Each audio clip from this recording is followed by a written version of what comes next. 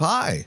I thought I'd offer a couple of tips on using the new Surface Tracker that's included in the new Resolve version 18 that's currently in public beta. For starters, note that the tracker will work best with higher contrast elements. So, clothing that has visible deformations in it or a strong pattern will work best. Something like this dark suit will cause the tracker to fail since it has very little contrast in it. You can always create a serial node before your tracker node and crank the contrast and then delete that node after you've finished your tracking. And this also works well for skin surface tracking. Another thing you can do to make things slightly easier is in this instance here, I want to add text to this young girl's shirt that says, My Little Angel. Now I can create a small file that has an alpha or transparency channel and the text that I wish to track onto the little girl like this. I used Photoshop to create this and I save it as a PNG file with transparency, but a PSD file will also work just fine. Now I add my PNG file that I just created to the media pool and now on the color page I add the surface tracker node from the effects gallery like this. I set the bounds of the area on the shirt that I wish to use for the text and go ahead and track it.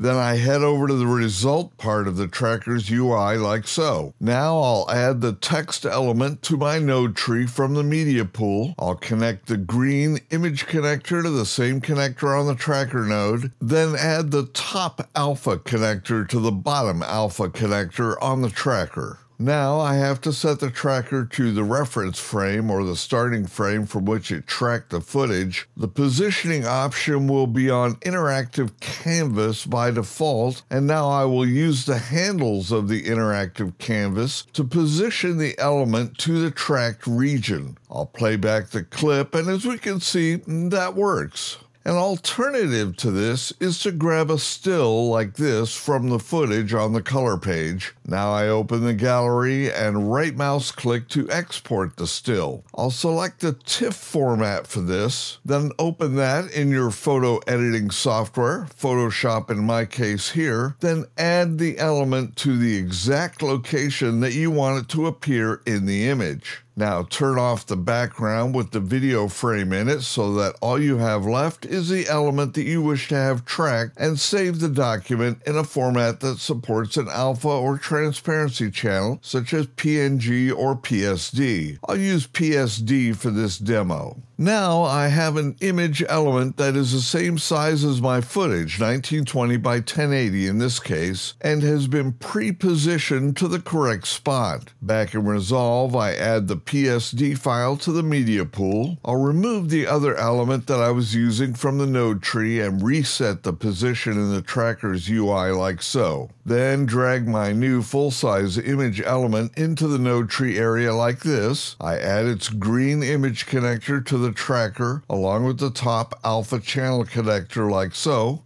and voila! The new element is already correctly positioned and the tracker does its magic. Okay, that's it for this tip. I hope this helps someone out there. If you like the video, please click like as that helps other folks find the video. And until the next video, take care.